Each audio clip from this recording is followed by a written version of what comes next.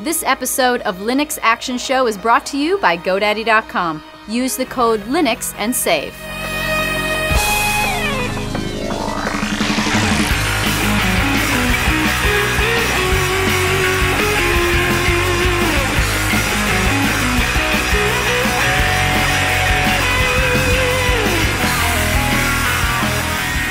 And welcome to the Linux Action Show, Season 25, Episode 5. My name is Chris. My name is Matt. Hey, Matt, welcome back to the big show. Hey, I'm back in the studio. Back in the seat. Back in the hot seat. You picked a good one, too. We oh, have a great show. Big show. Guess what? Big show today. Big show. We're going to talk about video games, and we've kind of broken this down into a few categories. We're going to give you, in our opinion, some of the best casual games available right now for Linux, some of the best intense hardcore games, and some of the best games that are going to be coming out of Kickstarter that's still a little bit of time left to fund if you want to get in on that. A little indie action, right on. And it's my intention to answer two questions. We get a couple of questions that come into the show a lot recently.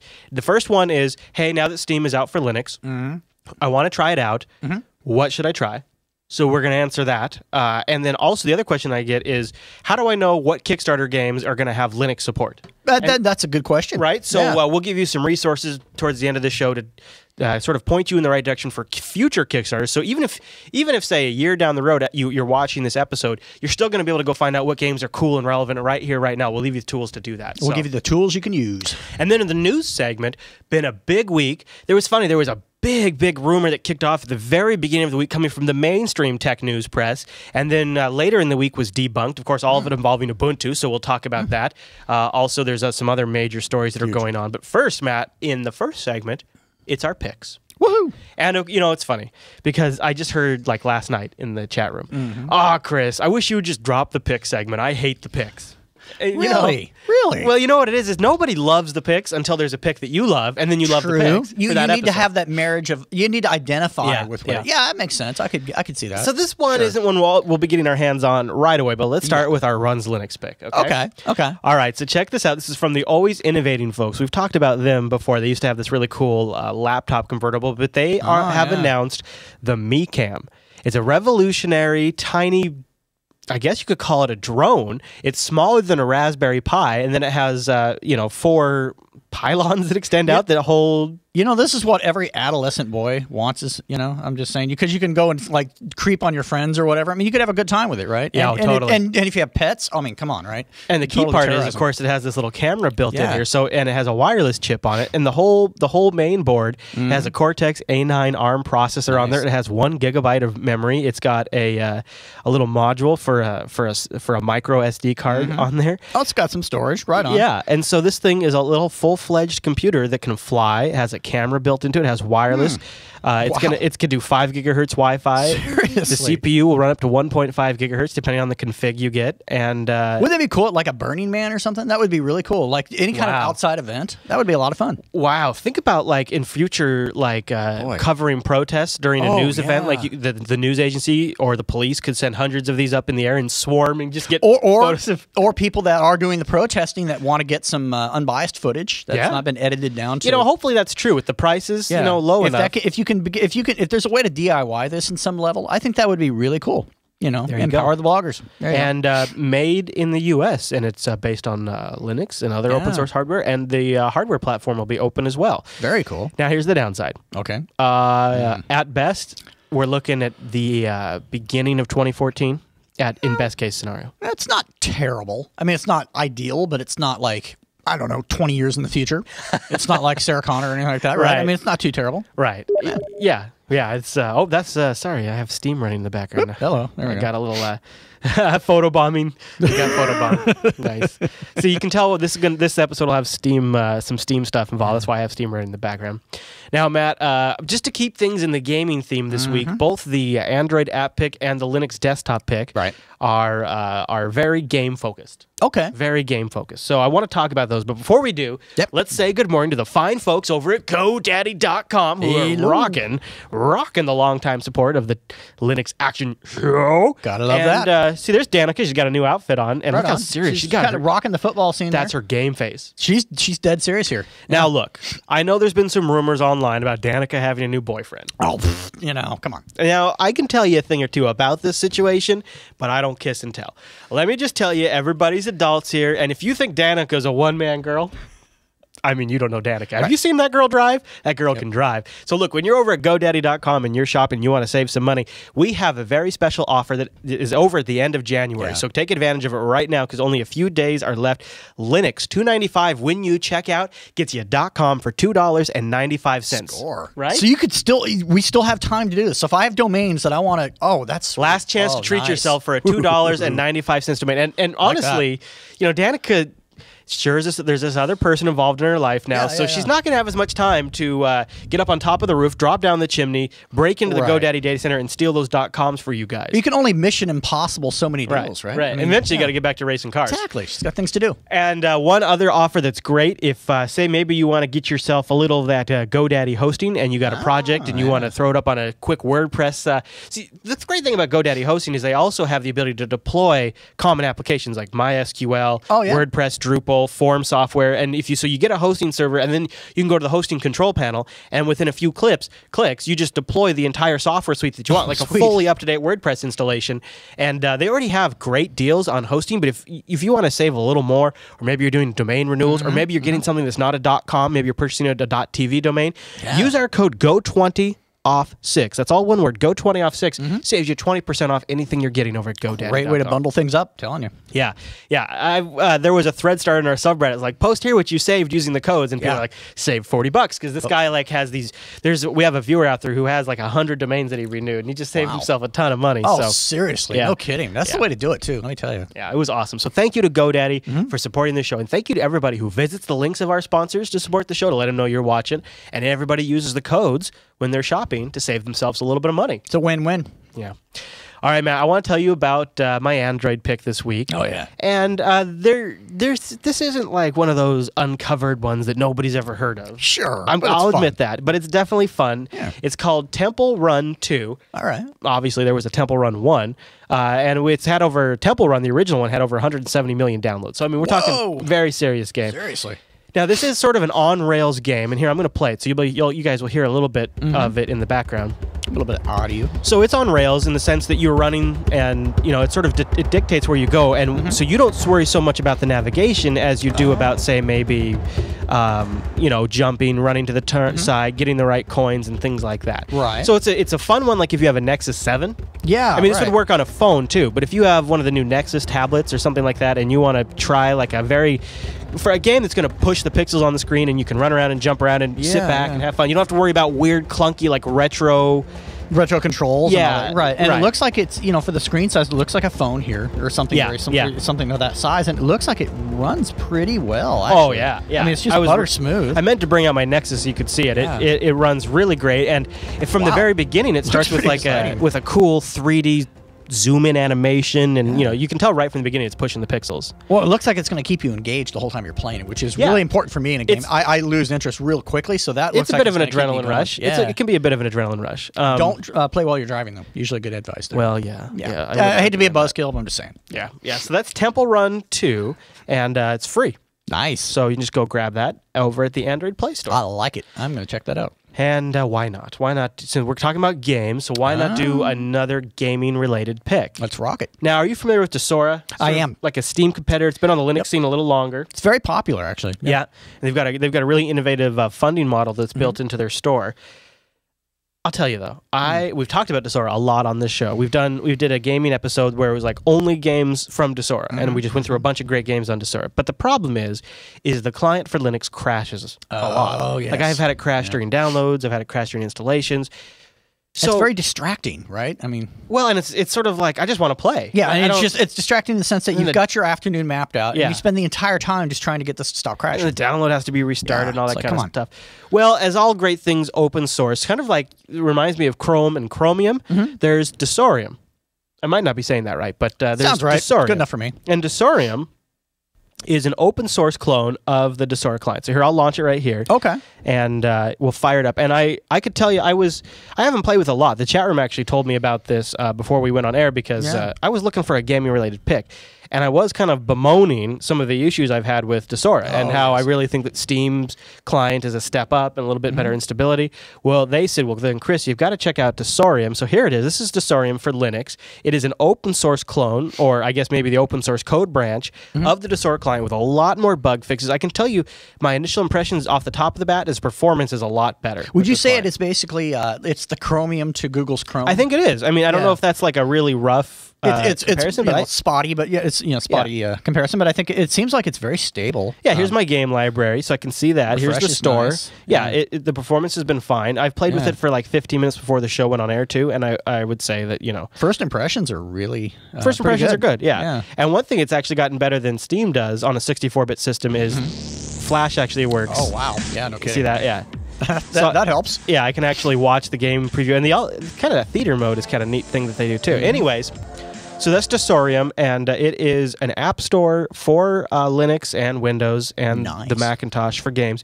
Tons of games on here, lots of free ones too. So uh, if you like, I have uh, here in my game category.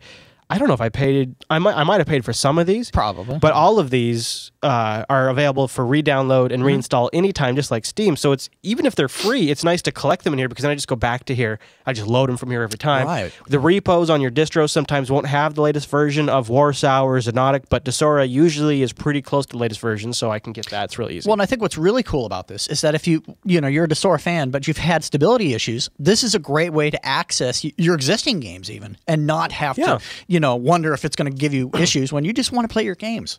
You know? and if you've had issues with Desura, Sure. check out Desurium. Definitely. And because we're going to be talking about Steam a lot today, I thought it'd be good to give them a mention too. Oh, yeah. Yeah. All right, Matt. Now, before rocking. we jump down to the news, uh, I wanted to cover a, an answer. I wanted to answer an email that was sent into the show, and um, because I think it's one that we've made it a pick before, but it's been Mm-hmm. a while, and I've heard people asking. It came from uh, R- Rebel Child or something like that. Chilled. Okay. He says, uh, "I never ran a desktop email client before." Wow. Wow. Yeah. Boy, uh, suddenly I feel very old. I know. I do too. I it's like I remember when I remember when Hotmail came out. but- yeah. Uh, wow. Okay. Uh, Thunderbird, Icedove, Claws, uh, Sylpheed, etc. I've recently had conversations with a Linux admin friend of mine, and he told me I was thinking of running such a client. He hated it, in his opinion. He said it would be a waste of time and more trouble than it's worth. I'm interested what the Linux Action Show subreddit thinks. What do Lastver use and the pros and cons? And then there's 32 responses to his question about what different folks in here use. And Sure. it's a great read and a lot of different uh, interesting insights into how people kind of use email on their machine. But Right. Matt, where do you stand? Are you a desktop email client or are you a webmail guy? In all honesty, I am actually using uh, specific webmail. But that being said, I if I am going to run a, a local mail client, I'm probably going to run Thunderbird, and I'm probably going to do so running a separate machine with a POPFile uh, Bayesian installation, simply because it provides me with more granular control. For most people, though, Thunderbird has reasonable Bayesian filtering for your spam filtering. Yeah, yeah. And there's something about having a physical backup or database, Yeah. you know, database of your files that the cloud's not going to give you, and so uh, that's something to really consider. I think. Yeah. Yep. know? I uh, I kind of I kind of use a mixed approach. Mm. So I, I use Thunderbird for some things, and I use uh, webmail for other things, Sure. and then for my personal email, I use an application that's I've actually made an app pick before. It's called Geary. And I've been looking at that more and more lately. Geary is a little limited in, in terms of Thunderbird. Like if you Sure. compared them, Thunderbird has umpteen more features. Geary is more straightforward. It doesn't quite. It's not quite as flashy. The thing I like about Geary is I have an unbelievably large inbox, Mm-hmm. and Geary is one of the few actual desktop clients I can throw at it that it doesn't die, it doesn't choke. Like, Right. I think I've said before on the show, like when I load Thunderbird up, I actually load it up like the night before I need to use it. That way, it has all night to try to Yeah, catch up. right. Oh, yeah, no and then it's usually still going in the morning. Whereas with with Geary, uh, I I install it and it's immediately available, and it, it's a little more like Gmail focused. Yeah, it seems like it's like uh, threaded. You know, it, has it does nice do thre- threading, and it's it's sort of more designed to work specifically with Gthread. Yeah. So some of the concepts in Gmail, some of the concepts in Gmail webmail sort of work here in Geary too. So this would make a really nice front end for Gmail on your Yeah. desktop, I think, especially if you're letting Gmail handle all your spam and uh, labeling. and all that. Exactly. So Not the like- Thun- so I use Thunderbird as well. I use Geary and I use Webmail, kind of depending. Uh, you know, I would say out of all of them, the Gmail web interface is it's pretty good. It's Uh, it's Yeah. I, well, and then of course the elephant in the room, evolution. Whoa. Okay. Oh, yeah. Uh, you know, I'm going to say that if you are, and I have not tried it recently, but if you have a compatible Exchange server that you're connecting to for work, it can work.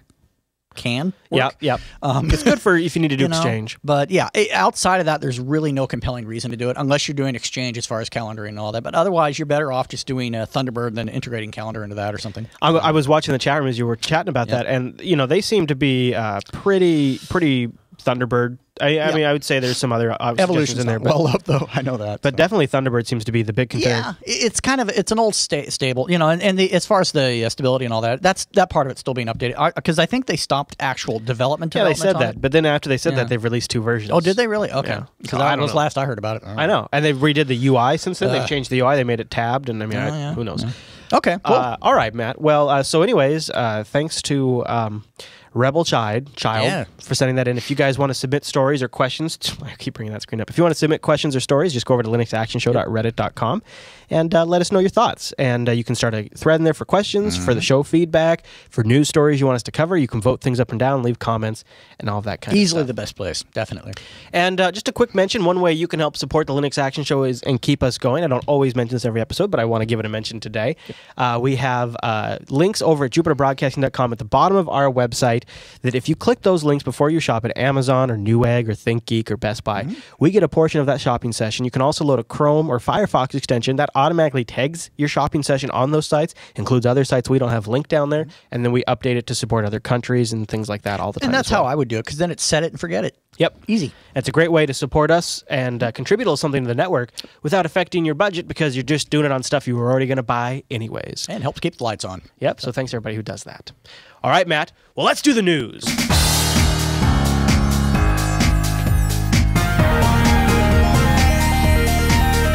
Hey, what's new in the news? All right, Matt. Let's start with those rumors that went flying this week. All right. Uh, so Ubuntu considers a huge change that would end the traditional release cycle. This is from Ars Technica.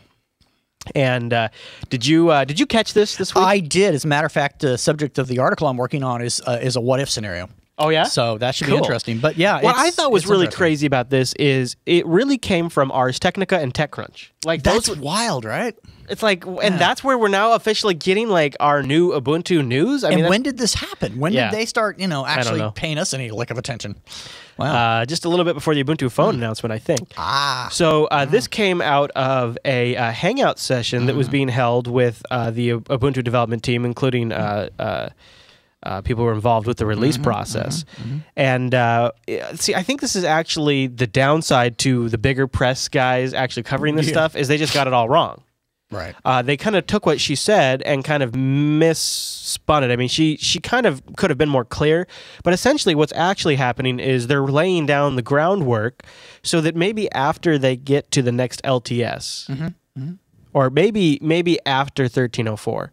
Uh, but likely when they get to the next LTS, they could switch to a rolling release. There's a lot of things they have to change internally in the way that they structure things. So I would not even expect to see anything until post 1404. I would say that, yeah, and I would even say like well, well into 2014 in general. Yeah, that's Um, probably where it is.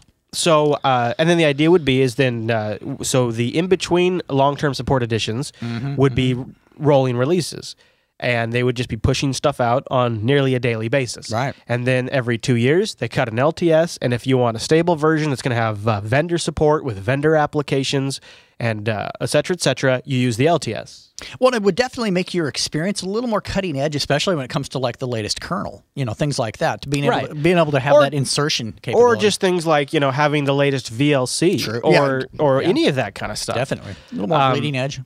So, uh, how do you think that would have? Do you, I mean, would you be receptive to that? Because I'll tell you, my first reaction when I read the headline was, "Oh, this is a bad idea." I've seen other distributions do it fairly well. Um, I think that Yeah. I, I would I want them to take their time with it, but I think if they do take their time with it, they really legitimately test it, break it, see where it broke, fix it, then put it out there to the public. I think it's a fantastic idea. But And, uh, that's the that's the the uh, fine print there. And I'll tell you, I think I completely agree with that. Um, when I first read it, I thought this is a horrible idea because what? So in the behind the scenes right now, as part of the next release, Ubuntu, uh, the, the development team is introducing this this new automated testing process where they're going to say, you know, release Unity builds daily. It goes through this sophisticated testing suite that they've been working really hard to build, and comes back and says, all right, this is this is good. This passes a certain quality check, Sure. and it goes out into the repos. Right.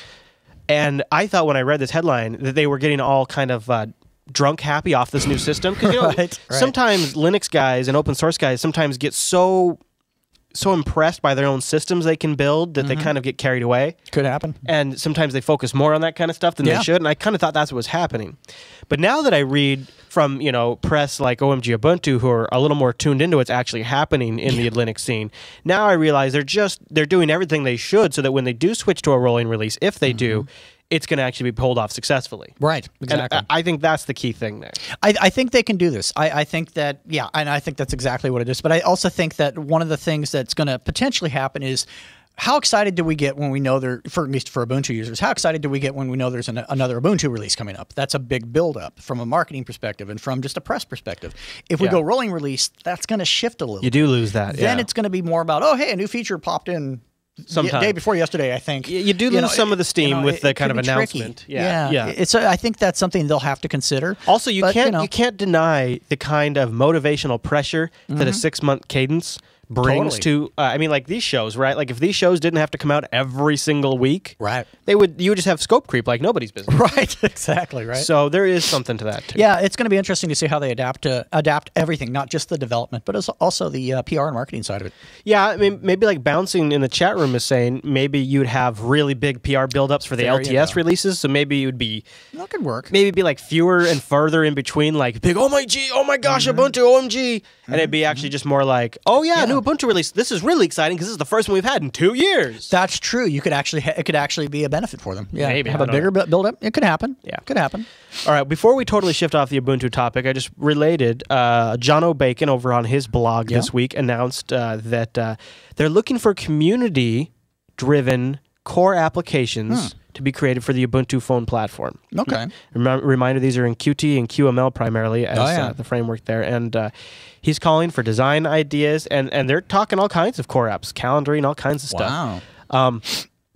you know, and th- I think this is a great way potentially for Canonical to take advantage of the open source community's ability to produce code. And, you know, they are in limited in resources, so they don't necessarily have the entire development team they need to create all of this themselves from whole cloth. Uh, but that said, uh, I, I, I foresee. Con- I foresee challenges with this approach.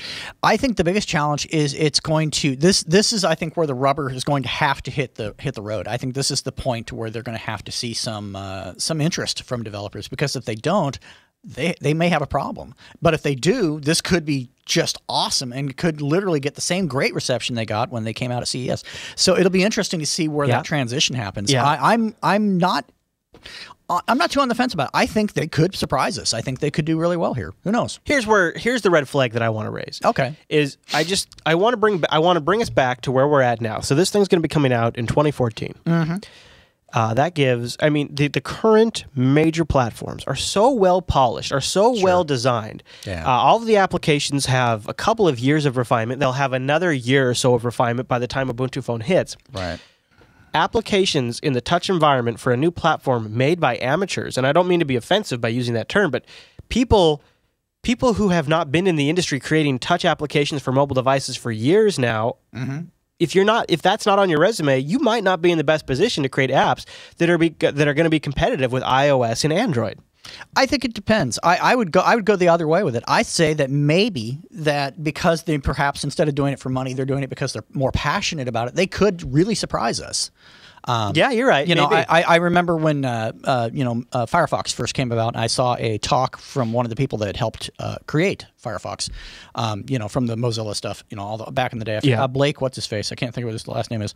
Anyway, um, he was really passionate about the idea, and he wasn't necessarily on his resume this specifically. Anyway, I mean, he had other great things on his resume, but he was very passionate about it. So I think potentially. Potentially, skills bundled with passion could in fact surprise us. Yeah. and I think the phone needs that because honestly, it looks a little too much like a Windows phone. well, and if, well, and if. Canonical if Canonical gets a good response, they can be picky and choosy about who they let create apps and what they ship. Right? they don't have to ship everything sent to them. Mm-hmm. Kind of related to the Ubuntu phone thing is it looks like it's not confirmed yet, but it's a possibility.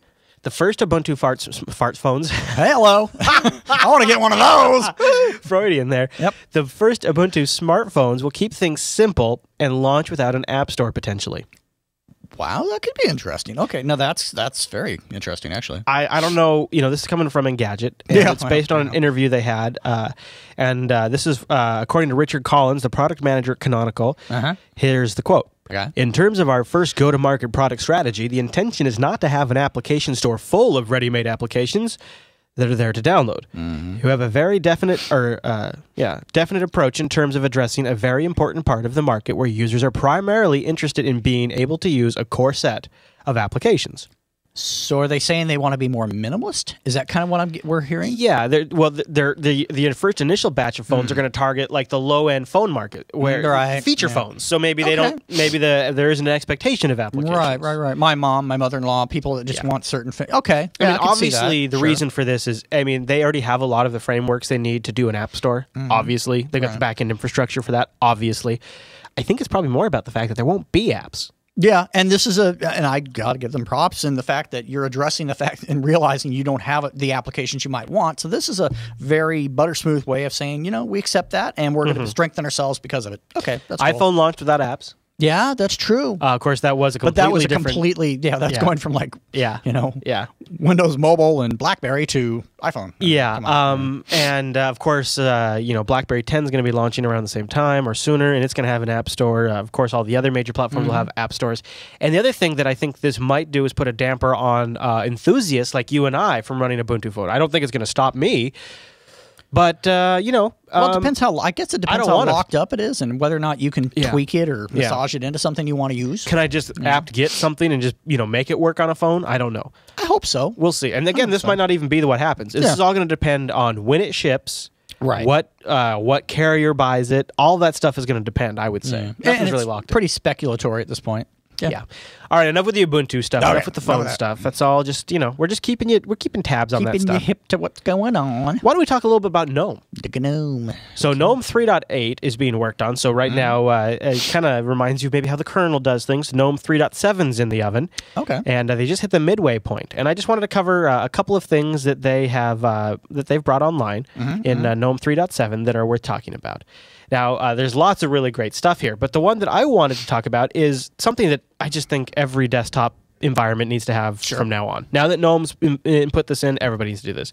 Allowing you to focus on your task and minimizing interruptions has been an important aspect of GNOME 3 design from the very start. Like that. So we just added a global switch to turn off notifications. The new notification panel on this allows fine-grained control over which, app, which applications get to annoy you and how much. Oh, and this is the part I like a lot. So you can say, you know, these apps, Oh. these apps can use notifications. These mm-hmm. apps can't. And you know, mm-hmm. we've all got those applications that abuse the notifications that we wish they weren't. Right? It reminds me of a smartphone approach. I like that. Yeah, yeah, well, yeah. Uh, they, they also have a they have they also have a nice easy to use Mm-hmm. privacy control panel. It's a little minimal, so I'm not really giving it too much mention.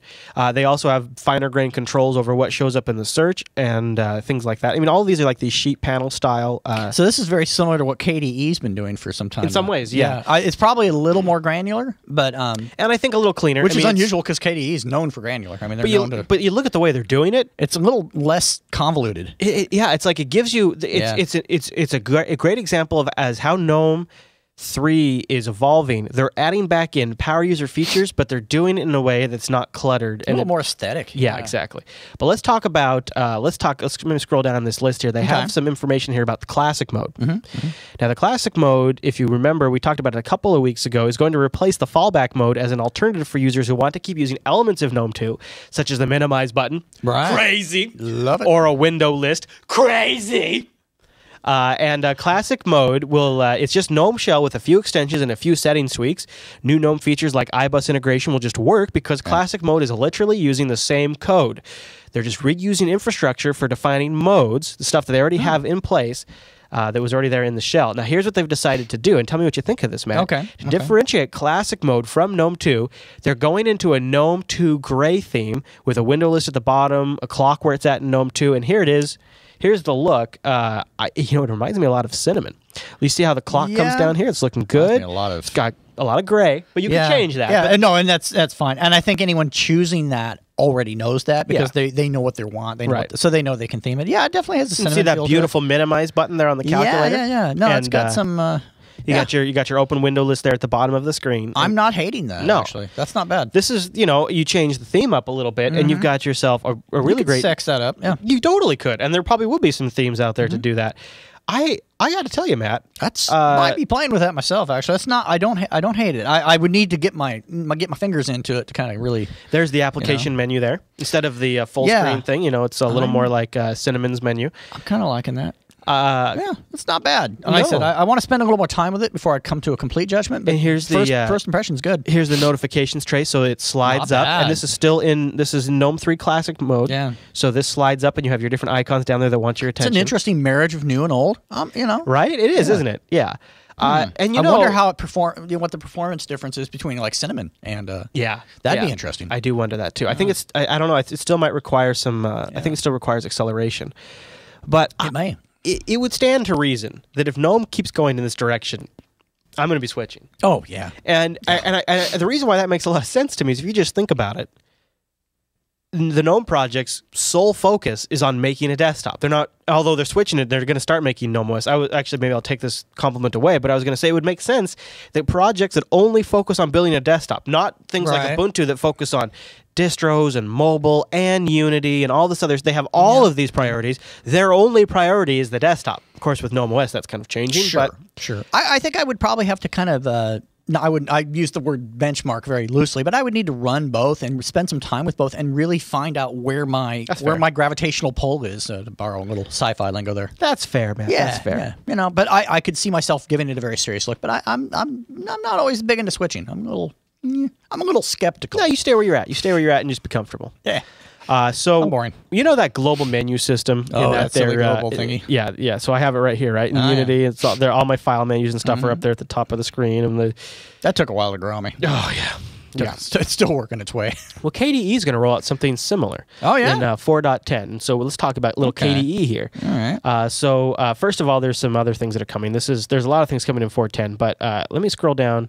Here it is, Matt. Here's a screenshot of it. So if you look at this bad. screenshot really carefully, they've put a little Hmm. button up in the title bar there. Really? And a you click, button. yeah, a tiny little button, and you click that tiny little button, and then out pops your file, Ugh. your edit, all within the title bar of the window.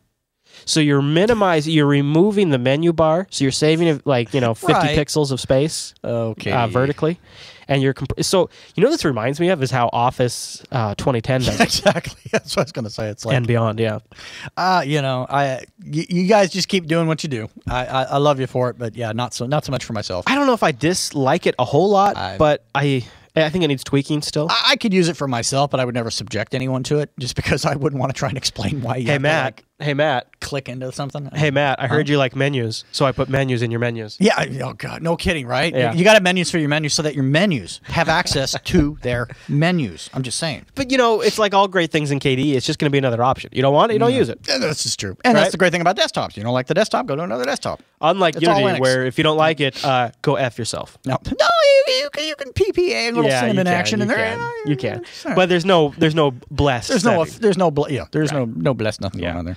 All right, well, let's talk about one of my favorite distributions that's Mm-hmm. having a big change. You know, one of midlife changes. Uh, Backtrack is being rebuilt as Kali Linux. I, Yeah, I, uh, Callie, Callie, I wanted to call it Kale Kale. because you know, like like Kale. We're gonna call it the big K. Kali. Let's go Kali. Kali, What do you all think, right. chat room? What do you think, Kali? Callie, Callie, They're rebuilding it as Kali or, or, or Cal or Kale. Kale's good. You should eat more kale. Kale, Kale's Uh, and if you don't remember, uh, Backtrack is a penetration testing platform. It's been uh, relaunched Mm-hmm. now, and the creators of Backtrack said that it's going to be based on a totally new Debian platform. They're keeping it under wraps, Mm-hmm. adding that it's a fully Debian compliant packaging and repository system. I like that. They're sort of up uprooting the four year development cycle that they've had. And uh, they've included a little teaser video. Do you want me to play a little bit Yeah, of it? let's play that video. All right, here, I'll turn it down a little bit because it might be a little loud. Can't but uh, blow anyone's ears out. so uh, here, I'll play it and then I'll, I'll narrate a few spots for, for you audio listeners. If you have a hammer, This summer. everything looks like a nail. The time has come for something new. Smoky lightning.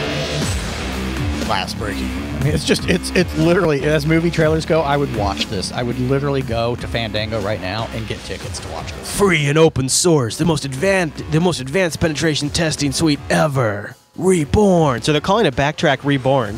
And so their whole metaphor is is uh, old Backtrack was a hammer, and we're we were all using hammers before, and now they're gonna bring they're getting rid of the hammer. Now I don't they're, know what they're, that they're means. busting out. You're, you're busting. Yeah, you're busting out the uh, sledge there. Yeah. like a twenty pound, thirty pound sledge. So no more hammers, and they're gonna use precise tools, is what they say. Brought to you by mysterious man walking through doorway. No word on when this new version of Backtrack will hit the internet. Uh, after all, they say this is just a teaser. Uh, but all I they love it. all they're saying for now is that uh, they'll have an initial release out soon. I want tickets to this. I want to see this movie. Oh, it's not a movie. I'm sorry. yeah, no, I know. I think as, as, as a security distribution goes, it shows that I love seeing it get this love. I love the fact that they put some real time into the They, trailer. they made a trailer for their distro. I mean, that is. I'm sorry, but that's so awesome. yeah. I love it. I think that's really cool. So Cool. take, take a look out for Kali or Kale Linux or Kali or whatever you want to call it, and we'll let you know when it hits the web. And I have this. Now, I now have this overwhelming urge to go and break a piggy bank with Yeah. a sledgehammer. I don't Yeah. know why. Uh, l- one quick story just to cover before we get out, or two last quick stories Oh, yeah. cover. Linux Pro saw a giant salary leap in 2012, according to Dice. Cool. Technology salaries in the U.S. saw their biggest jump in more than a decade, says Dice. Hmm. Uh, they surveyed 15,000 employees.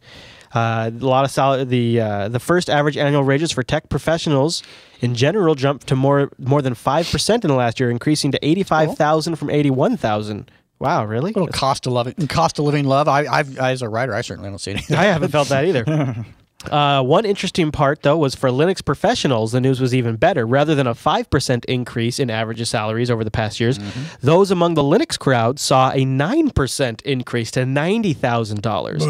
Linux using professionals also saw a 2% increase in the numbers of bonuses received in the last year. In addition, their bonuses, which amounted to 9,000 on average, were considerably bigger than the 8.8 8,600 received by gen- IT generals. No, you have to wonder if this is based on their performance. This is based on the demand of you know maybe there's a lack of uh, Linux professionals out there, and so people are working really hard to retain the good ones. Maybe, maybe. Yeah, yeah. Uh, they say uh, for the last few years, we've seen paychecks for Linux professionals grow faster than we've seen for tech professionals overall, says Dice.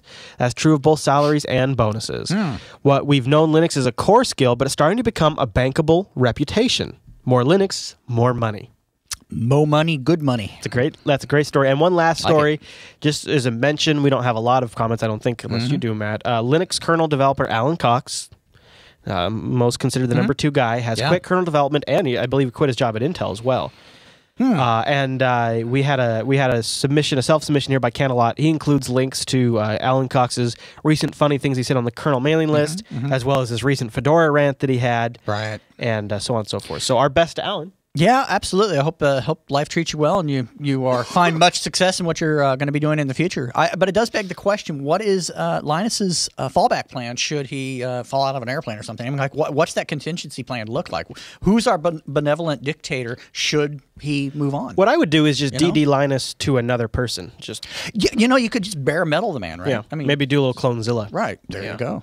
So uh, I, our, I like the DD action. Actually, that would work. our best Alan Cox, Yeah. and uh, don't uh, don't shave that beard, sir. Yep. Keep rocking that beard. Maybe we'll see you again in the future. Sometimes he says he's leaving for family reasons. Can happen. And he says it's legit, legit Burnout, family reasons. Maybe we'll see him in the future return. Yep, yep, yep. You never know. Could happen. All right, Matt. Well, that's all the news for this week. Matt, it's time to talk about some of the best video games that I've gotten my hands on recently. And uh, you and I were kicking around some ideas for the show with Steam coming out recently. And uh, we've gotten a lot of emails into the show on what games Mm-hmm. Yeah. people should be grabbing on Steam. And we thought it was time to do an episode about this. We'd And like really to do it dedicate it to it. Yeah, definitely. Yeah. So, uh, speaking of dedicated, I want to mention our segment sponsor, that is System 76, Mm-hmm. creators of the finest machines built to run Linux. They are uh, they are born to run Linux. These machines, and I have one right here in front of me. I have the System 76 Bonobo Extreme. That's right. As a matter of fact, that's what you are looking at there in our background. That's right. This That is. That's wait, it. no, that's not the Bonobo. That's the Bonobo. right That's the there. Bonobo. There it is. And I, I clicked off of it. Sorry Yep, about yep. that. But uh, what's great about this Bonobo is uh, during the show, if you're watching the video version, and this is Mm-hmm. going to be kind of a visuals heavy segment. Sure. Um, the the display is will be pushed out at 1080p, so 1080p on my screen, Mm-hmm. and then this machine is mirroring that 1080p display on our remote capture machine. Oh. So it is rendering it twice, and you're going to see the gameplay is just beautiful. I mean, this Bonobo So you're rendering a double rendering, and it's still getting the performance I was singing earlier. Oh, this That's- Bonobo is a wow. monster. It's a monster with massive amounts of storage, a Love great it. trackpad. Uh, so check out the Bonobo Extreme if you're looking for a desktop killer. Some But, NVIDIA uh, graphics there. I love that. System 76 has a ton of of great laptops, ton of great desktops. Yes. Um, we've we reviewed some of them here on the show. So thank you to System 76. And if you want to get a machine built to run Linux hassle free, go check out system76.com. All right, Matt. I want to give a mention to some games we're not going to talk about this week, but they, Okay. they just made it to Linux, so it's exciting. Half Life and Counter Strike are now available Mm-hmm, natively for Linux on Steam. You know, I, I'm I'm used. I'm a fan of that because I, could actually see myself getting back into a little uh, They're great for LAN parties too. Oh, I, I just I used to just because I, could play Counter Strike and not even think. I just like tilt my head, drool, and just nuke. Right? I mean, I can just go. It's yeah. great. Yeah, absolutely. I love that game. All right, so uh, now I thought we'd start with I've got things kind of broken down here. We've got Mm-hmm. casual games, Nice little casual game. I got intense games, okay. and then I got some stuff I want to talk about that's coming on Kickstarter that I funded recently because I Right thought they were great. I thought other people might want to hear a little bit of something for everybody. Yeah, Yeah. So let's start with uh, let's start with our first casual game on Steam. So if you want to get your hands on a Steam yeah. game, but you're not big into first-person shooters, I want to me I want to introduce you to I don't know Matt. Uh, how would you pronounce that name? Polynominal. Polynominal. Uh, Paul, I'm going to say polynomial. Actually, yeah. Not yeah. I wouldn't know how else to pronounce it. That's what I'd call it. now I've just got this game recently, Mm-hmm, and I'm going to play it here for you. Okay. And uh, so think of this as a. Oh, I might hold on. I have to. There's a little little trick Oh, gotta I have to do with my mouse. Mouse tweakage going Yeah. on there. There we go. See, otherwise it spins if I. oh no, this is a neat. That's neat. Okay. So think of this as a space shooter. Okay. Yeah. In but the space isn't space. It's music. It's okay. Space is in space. It's music. So is Yeah. it music visualized? Is yeah. that kind of what we're? So the entire environment reacts to the music that's being played, and you know Oh, the idea is you set up your own playlist, right? right. Oh, this is. And then the music. So here, I'll s- next song. When you're done looking Oh, that's just- save and send it So here, let's see. So now I got back out. Oh, this is trippy. Trying to, there we go. Here's some Ronald Jenkees, okay? And now watch the music respond. See how there's waves down there? Easy. So you go, yeah. That's absolutely. Yeah, I can see that being addictive because it's just it's like it's never seen. That is visually. I don't know if you guys are eh, for audio listeners. You really need to just take a moment and watch the video. It- it's, Yeah, it's like a visualizer that you're flying around the side of. There's bad guys. it's probably the most visual thing I've seen in a long time. Actually, it's because it's not just about graphics. It's about more of an experience. Right. And and if you look Oh, like see in the oh, background, things are reacting. Different particles react to the music beats. And if you put like some hard metal in here, they go crazy. And if you put, you Oh, know, yeah. Depending on what you're doing here, and you I, I just throw a little. ACDC at it. See what happens. Yeah, throw a little ACDC in Yeah. there. And what's fun is it's not like you can play on different difficulty levels, so it's not like very stressful. And if you have a song you really like, you can listen to the song while you play, and it kind of becomes incorporated into the game. You know, I can see this as being really cool just to clear your mind a little bit. Yeah, yeah, it's a great. Yeah, it's exactly right. You know, just relax without getting totally stressed out. It's Have just fun. trippy. Yeah. it's like, man, where was this in the 60s? Yeah, there. we- Yeah, exactly. So, anyways, that's uh, that was polynominal, Wow, and uh, it's that's a cool. it's a great casual game that uh, you know you throw your own music library. And obviously, I just kind of tossed. it Uh, how much is it? Is it? Oh, I don't know. Actually, it was like nine bucks. I think. That's or- not bad. No, I, I'd buy too bad. that. Okay. So uh, the uh, poly- the polynominal. Polynomial. I played a bunch on the live stream uh, this morning Yeah. too, and uh, you know uh, you. Uh, so here, in fact, uh, it's a little loud, but I'll go back in. Okay. I'll show you one cool thing about it is. Uh, Besides the fact the interface is super cool, is Yeah, you go here in Sound and Music. You see, here's the they include a lot of really good music, right?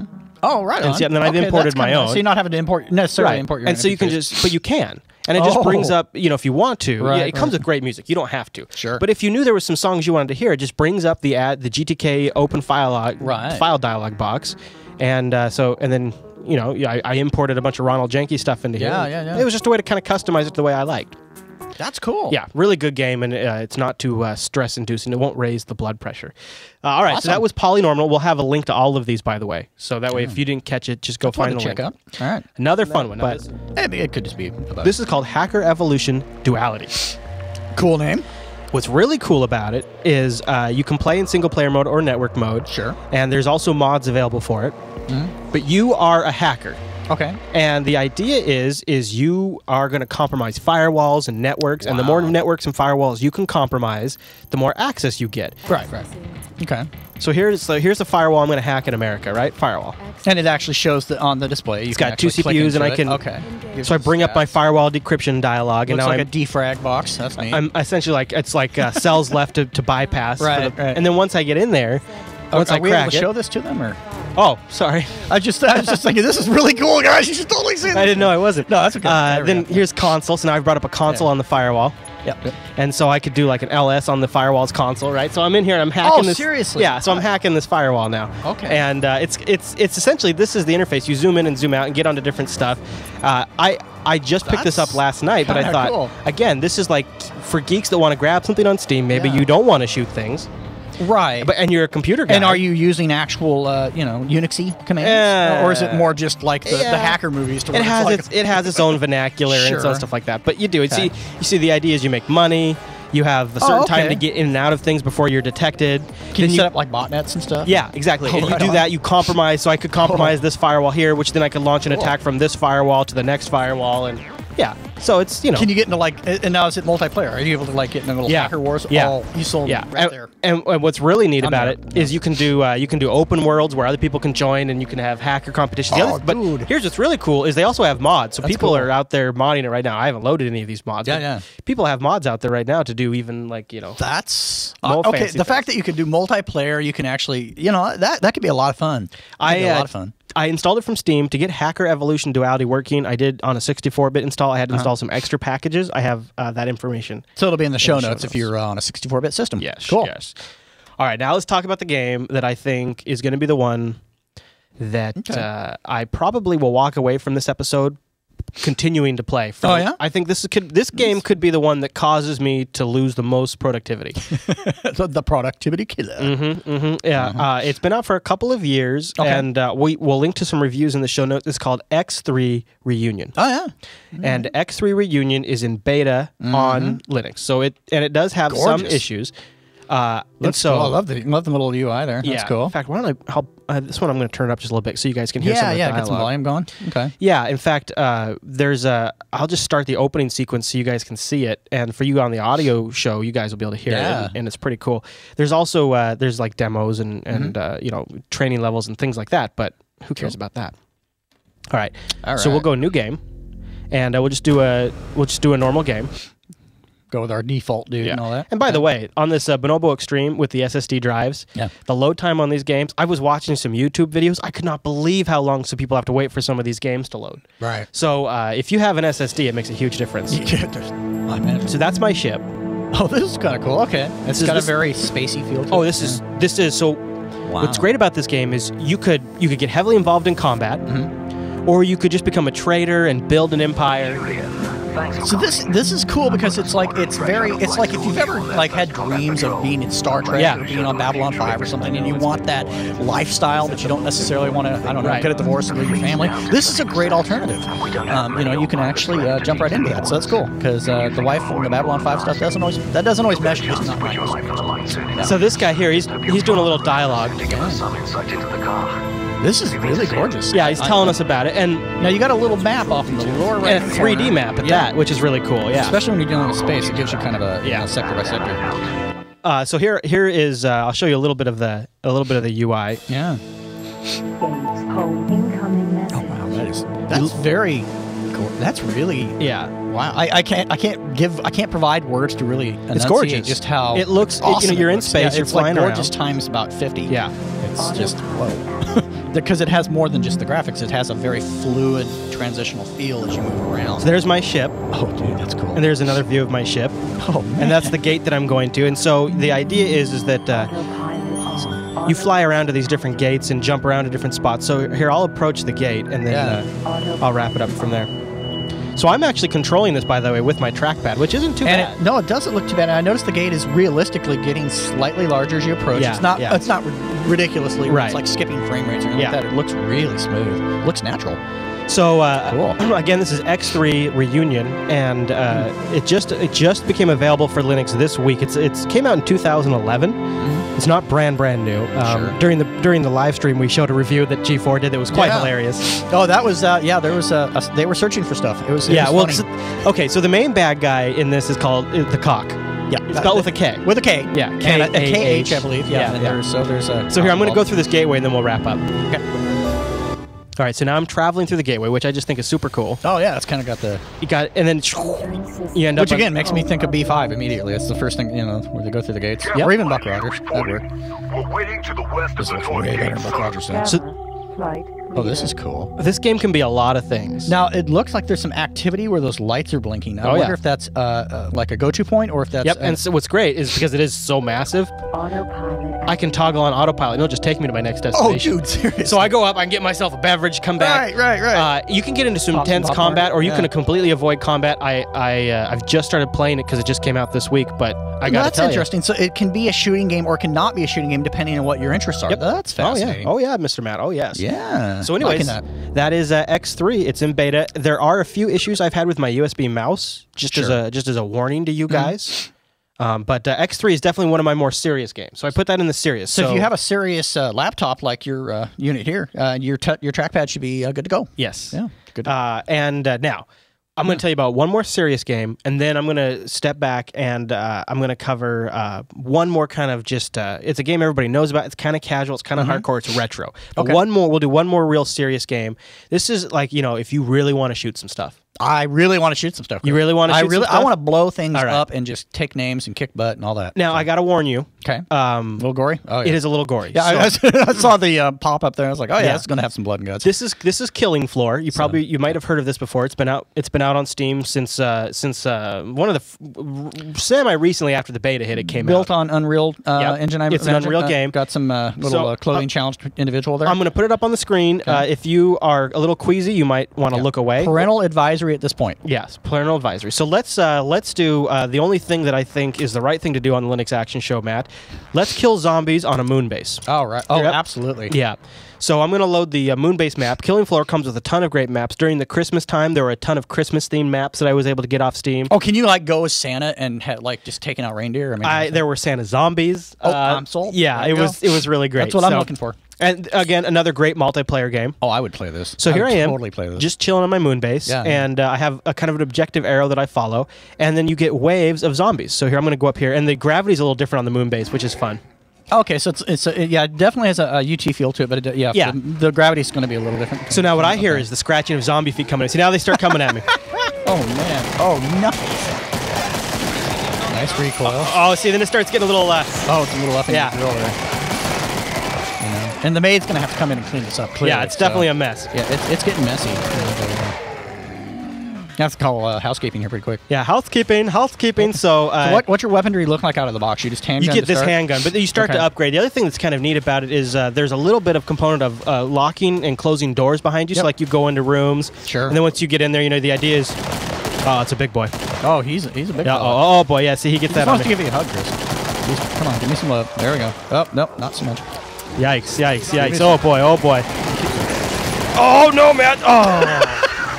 He just wanted to. Yeah, I did a lot better last night. I did a lot better when I was doing this last night. Obviously, Left 4 Dead, another well-known zombie game. Yeah. Killing Floor uh, is is a lot a lot of fun. I kind of like it for just solo playing a little more than I like Left 4 Dead. Left 4 Dead for me has always been a multiplayer game for some reason. Killing Floor probably would be too. I could see this being a lot of fun as a multiplayer because I was a big Unreal Tournament guy, and being this is built on their engine, I could see myself gravitating to this like a Yeah. you know Oh, yeah. a magnet on a fridge. So here's some creepy levels. Like here's a really wow. creepy at night level where I'm outside. Look at all these zombies coming Oh, up here. man. Hey boys, how's it going? Have you seen our pants? We're missing our pants. Yeah, I can totally. you always want to get these big boys as fast as possible. Oh yeah. Hello, big boy. Hello. Just head to the. head to There we go. That went a lot better than last time. Yeah, and apparently the headshot or the groin shot's Yeah, where it's at. yeah. One of the other. If they have groins still, I'm not quite sure Well, how you that shoot works. them enough, they won't. I mean, they'll take it. Uh, So, anyways, oh yeah. So you also have team members you're trying to go save. So see, that's where this arrow is telling me to go off and go save my Right. team member.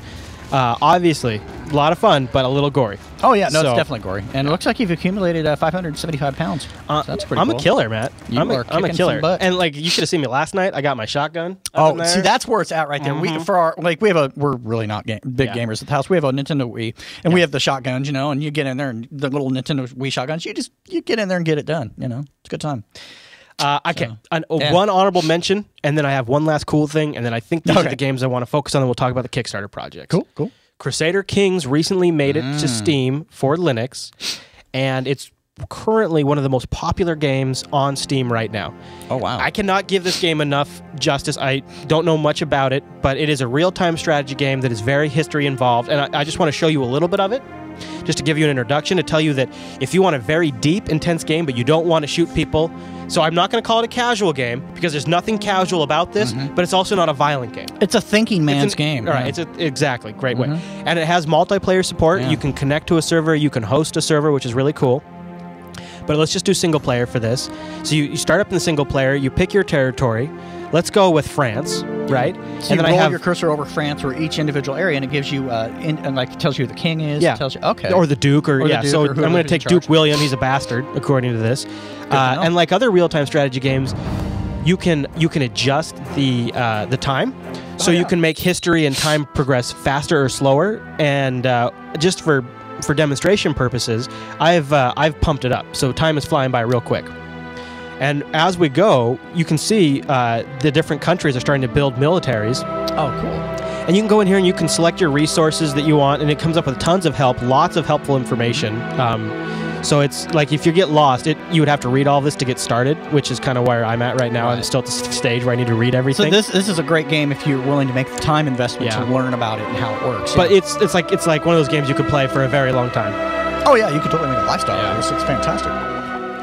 All right, so that's uh, so there you go. And again, just gorgeous. And as I zoom out now, you can start to see like you see all these shields oh yeah, that are new, showing there's up. Some new shields showing up. So there's armies. oh, look at this one right here. Oh, Look- no, oh, what's, some- what's this guy doing? activity going. Yeah, And then you can roll your cursor over and actually get the details as to yeah. what's happening. and get the hints, so I know what the heck I'm looking at. Um, anyways, just gorgeous, and I, I love the uh, I love the graphics of it. Well, and it's a it's a nice hybrid because you're you're getting that thinking man's game, but you're not losing out. You're, you're not going all Oregon Trail with it. I mean, it's not like you know just totally uh, boring to look at. It's actually attractive and fun. I think I could I think I could turn down the time on that, and I could just play it and play it and Sure. play it and play it. So that's Crusader Kings Two, available on Steam right now. One last uh, game that is actually on Steam.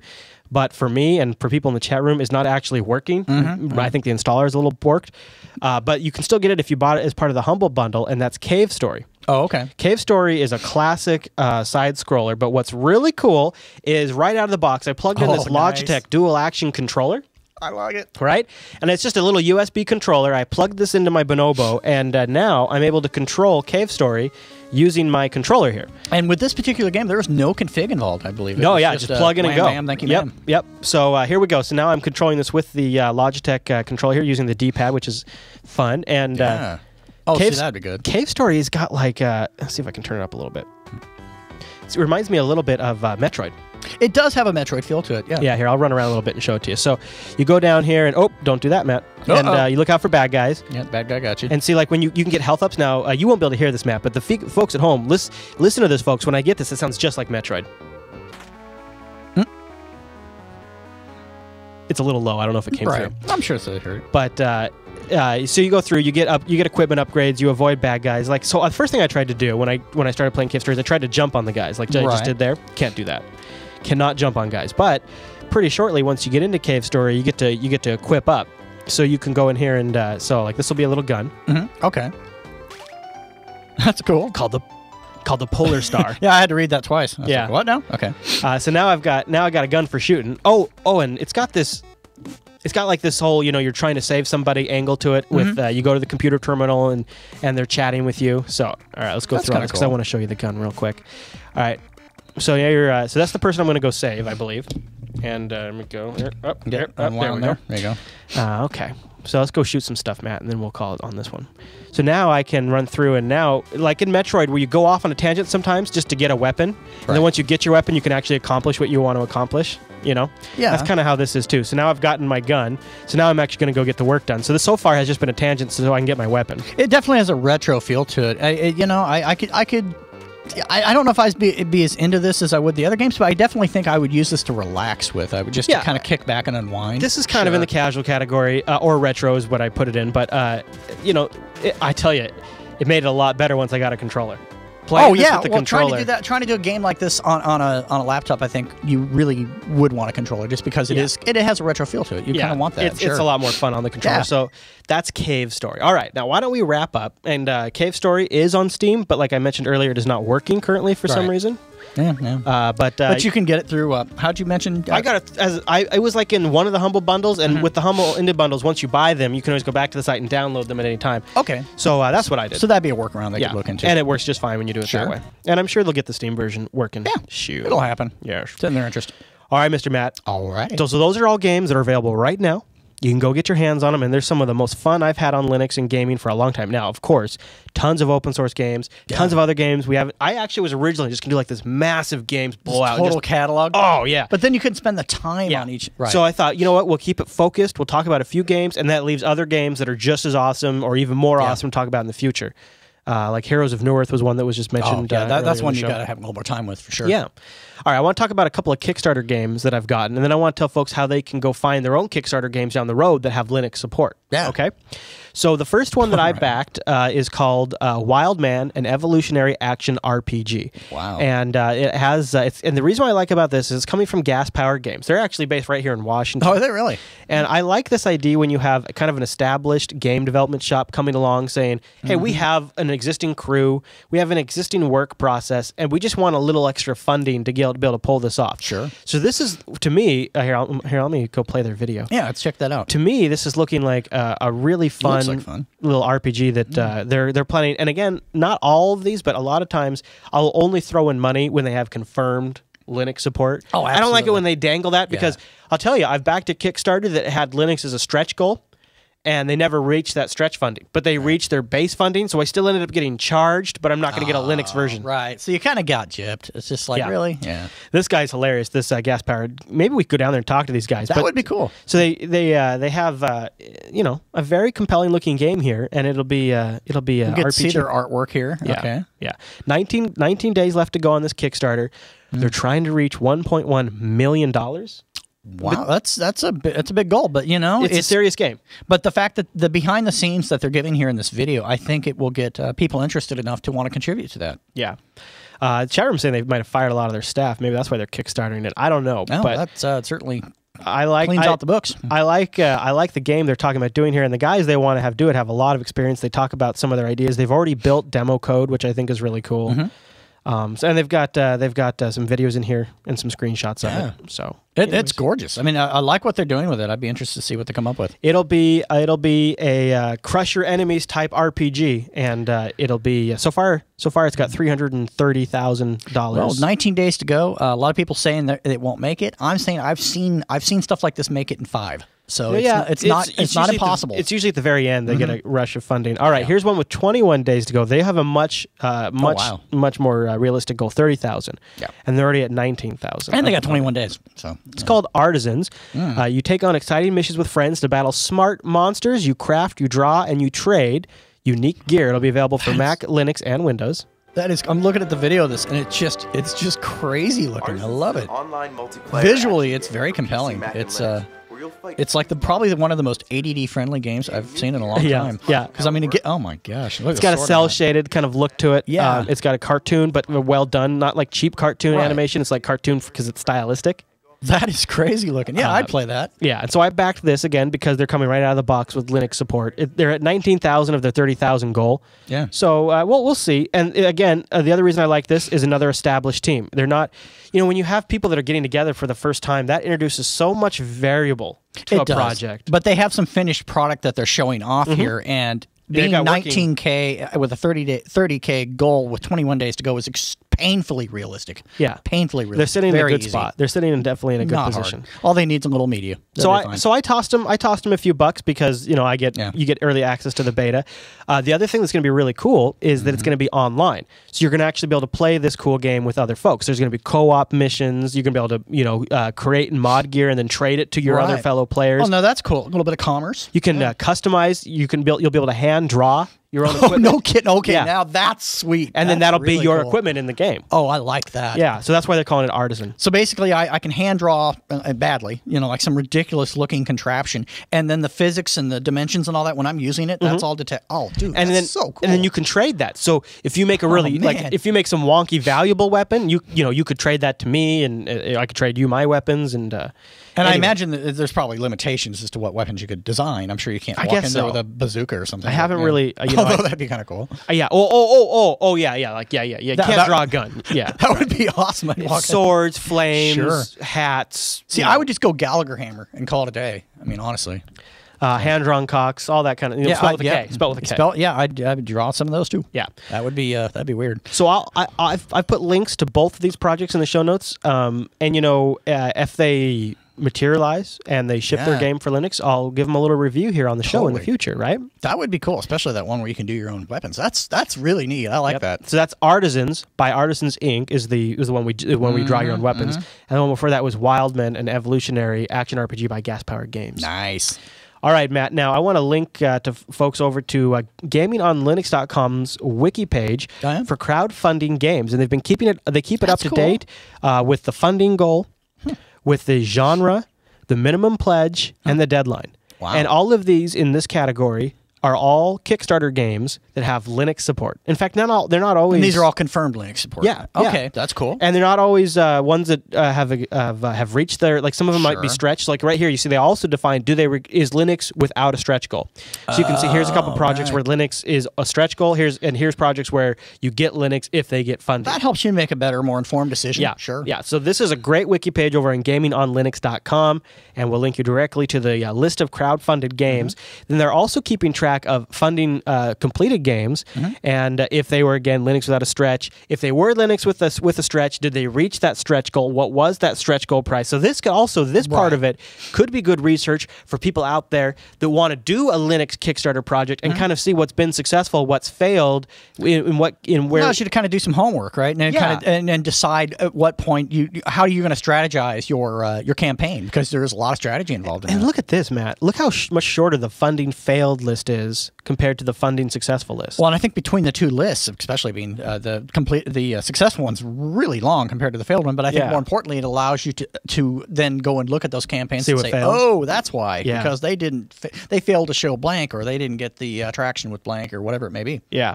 That's cool. So, uh, anyways, we'll have a link to that in the show notes. And Nice. uh, you know, I found going through Kickstarter, uh, there's some stuff that. You know, could end up coming to Linux that could be really, really fun.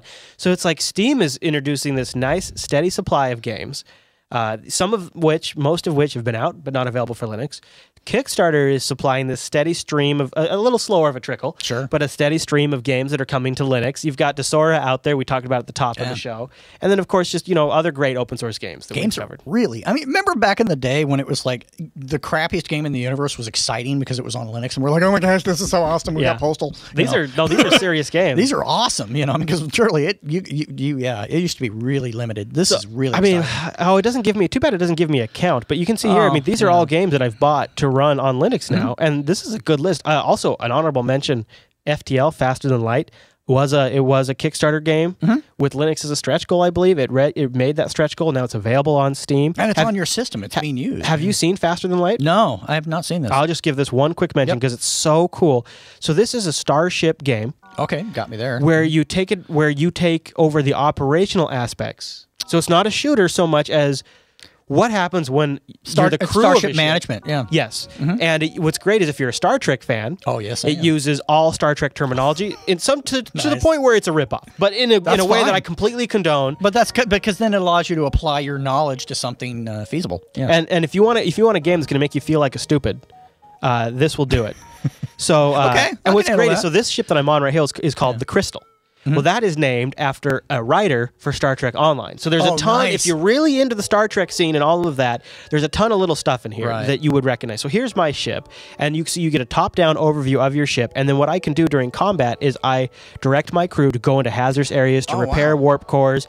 I, you know, to send them over here to the firing chamber to fire. If there's a breach, I have to go fix them before all the air is sucked out of the room. And this is a very hard now, game. is that just the ship management, or do you also get to manage personnel? Like uh, you have someone that's being insubordinate, or maybe perhaps they can you can you spa- I want to know, You can, know- can I space my first officer? That's So, really what I want to know. I started playing this a, a couple of months ago, and then I got it again when it came for Steam. And every Sure. time I only get through the first battle before I end up giving up. Right, I'll right. be It's just, honest. like, too much So going on, I've yeah. never had to do any uh, staff management, but it is along those types of games. And you see, like, uh, you have red alert status, you have shields, you're part of a federation, you I have like that. torpedoes, you have phasers, right? you I'm have all that it, stuff. digging it. yeah. But it does sound like it would be overwhelming, and I probably have to ease my way into it. The one thing that's a little different is you jump. So uh, you have faster than light for jumping. Okay, so you then pick a point on uh, for audio listeners. You pick a point on this map, Yeah. and then you decide basically where you're going to then jump to. So then I'll jump, and of course when you jump, Mm, cool little graphic there. yeah, a Okay. little Battlestar Galactica Yeah. type Yeah, jump. totally right. Yeah.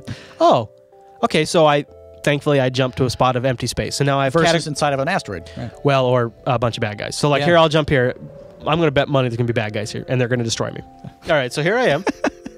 oh, look at this. Looks like an ice cream. Uh, we have a bad guy. okay, so then and it gives you the stats and the bad guy, what their capabilities are. Is that oh, relationship neutral? So Okay. here we go. A specially well armed pirate ship approaches you. Hand over one of your crew members, and the rest of you can go free. So now my options are draw straws and send over a crew member to the slavers, or, right? I'm on that. Or we will never surrender one of our crew to the slavers. oh, I'm totally gonna. You know, Draw straws? Yeah, red, draw the red straws? shirt on level four has been slacking. I'm going to Right. send him to the slavers. This is why you have a red shirt. Yeah, right? I mean, complete- clearly. Okay, all right. Right. So uh, we'll do uh, we'll do draw straws. Yeah. All right, see what happens. All right, so I'm drawing straws, as long as it's not you, you're okay. and you should actually see a shuttle leave. I think. Uh, I don't know what happens next, but Or you see some little dude floating, yeah, and then they just you know grapple and hook him in or something. That'd be weird. I do. I dig that. FTL is considered roguelike, says uh, Crispy Oh, in the chat room. I'm not sure, but uh, All right, anyways, whatever. super fun game. Yeah, definitely a challenge and retro too. But at the same I, time. I'm gonna have to make some suggestions. I want to be able to space low performing crew. I'm just saying Yeah. that's a feature that I want in this game, and I mean that seriously. I'm dead serious. well, then you then you That'd just, be awesome. then you just send out your counselor Troi crew member. Oh yeah, Right, you know. I don't need a counselor. Uh, She's first to go. I'm, I'm spacing her. I I, I love I love the actress. I think she's a No. wonderful, talented Well- woman. And I love the character, but I don't want right. her in my grill if No, I'm a right. captain. I want her as a Yeah. viewer, not Yeah. as a captain. That's Yeah, all I'm saying. right. No, you're totally right. Yep. Uh, so, anyways, check those out. Just a quick recap: we've got uh, the polynormal or polynomial for the music shooter, which is a ton. It's it's a it's a it's a space shooter, Sure. but it's also casual at the Mm-hmm, same time. Hacker Evolution, if you want to hack firewalls as a hacker and things like that. X3 Reunion, if you want a, a really awesome space game, it's got a ton of potential. I'll tell you, it's it's it's a little hard to get into, and it's menus within menus in this game, but I'm really impressed. And then uh, that we also had Killing Floor as the intense zombie shooter on the moon base, and then Faster Than Light and Cave Story. Love it. And the Kickstarter projects and all that stuff are linked in the show notes. And most importantly, for my, someone as, such as myself, there's games for all levels of tension, uh, d- depending where my attention span is, and Yep. it can be anywhere in, on any given day. So that's great. I got some choices. Absolutely, man. Good stuff. All right, that's the Linux Action Show's look at some great games for Linux.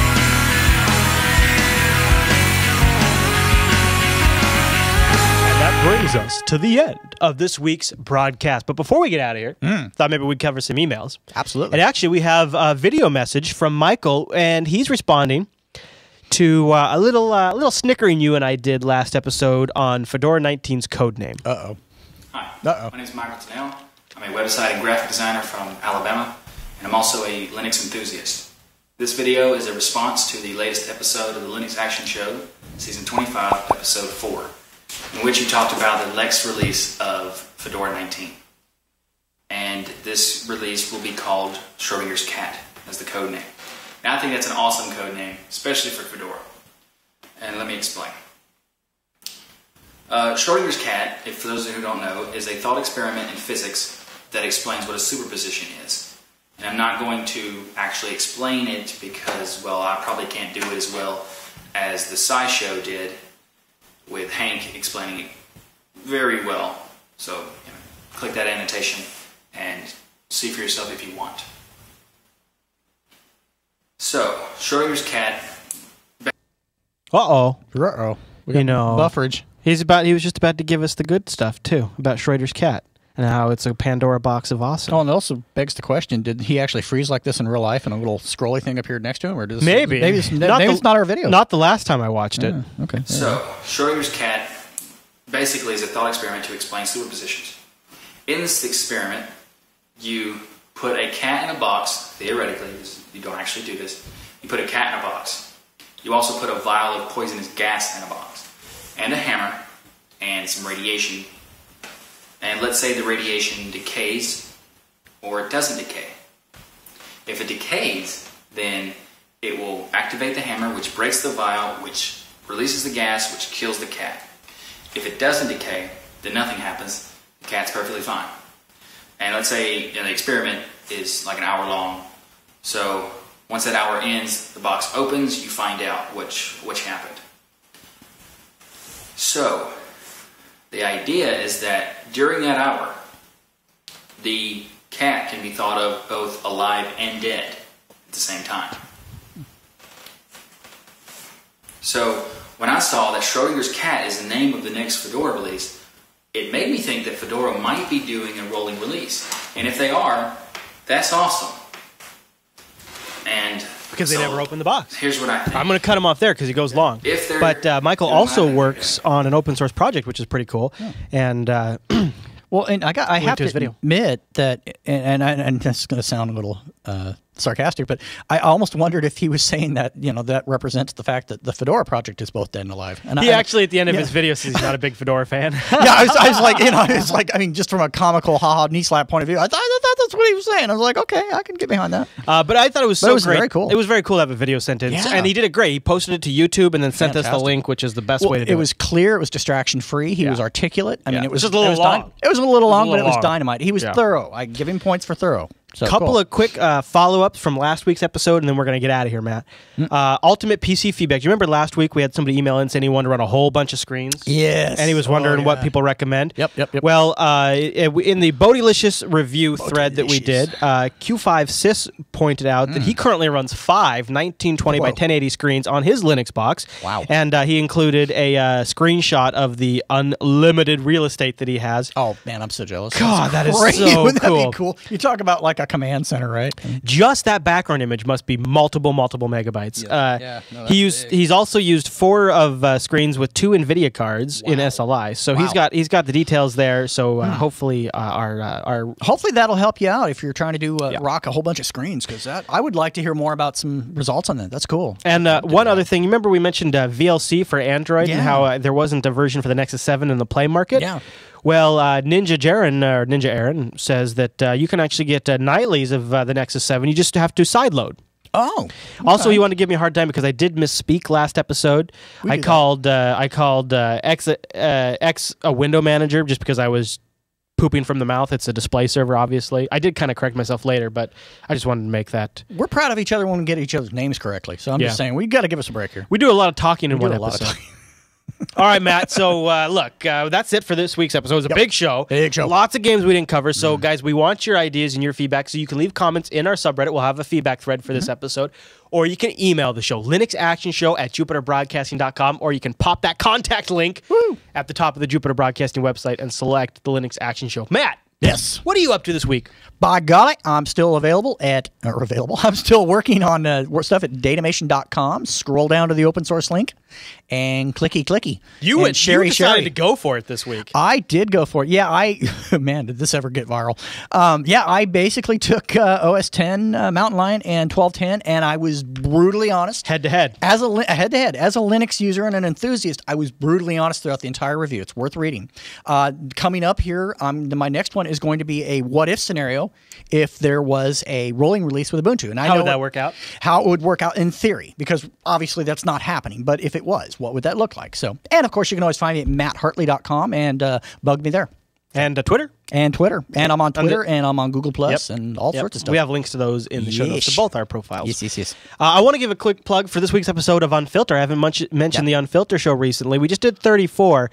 Uh, we had a sort of a follow up story where there's been more information about Aaron Swartz. Oh, and yeah. if people are, have been uh, interested in that story, I want to recommend you check that out. Also, Definitely. fraudulent food and the secrets of fast food, and then also uh, Hillary Clinton's uh, last uh, big showdown in the uh, Senate and the House. We covered all of those in episode 34, and I thought it turned out really well. It's a long episode, but tons of good information. We get a lot of good feedback. So if you haven't checked out the Unfilter program, or you haven't checked it out for a while, go see what you're missing. There's a lot of good stuff in there. It's a Check it's it a out. really good show. All right, Matt. Well, that's I- it. Just a reminder, we're live Sundays at 10 a.m. Pacific over at jblive.tv. You can join our chat room like these fine folks did and tell us uh, how we're. Uh, Oh, and you can see our shenanigans uh, in between uh, shots too. I mean, we're we're crazy. So. yeah. Oh, yeah, man, yeah, let me yeah. tell you. Yeah. Well, we played extra content. we did There Stuff that we could not put in the That's show. right. Because of we'd probably get pulled off YouTube. probably probably would. So it's good. That, so you want to check out all the stuff we're doing? Uh, make sure to join us. Well, join us live on Sundays at 10 a.m. over jblive.tv. Yes. All right, everyone. Well, thank you so much for tuning to this week's episode of the Linux Action Show. We'll see you right back here next week.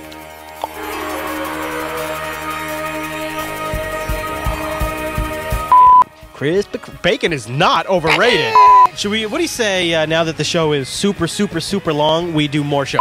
Too long. We should do TLDT. Too long did not title. There you go. Too long did not title. Just watch the damn show. All right, here we go, Matt. We go. It is uh, the Linux Action Show for GNU slash Linux in three, in eight, and welcome to.